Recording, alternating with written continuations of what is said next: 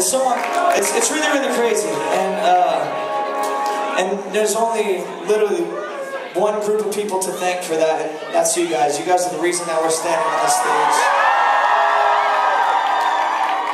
A couple years, I, I woke up in the tour bus and, and I, I wanted to write a song to say thank you for, for everything. And it ended up being a song called We'll Be a Dream and just about a bunch of kids who wanted to live their lives, live their dream. And, and, uh, and you guys are honestly the people who have supported us the whole way. And you guys have been there to have our backs every single day of our lives. And there is not enough words that we can say to thank you guys so much for everything you've ever done. So thank you, thank you, thank you, thank you.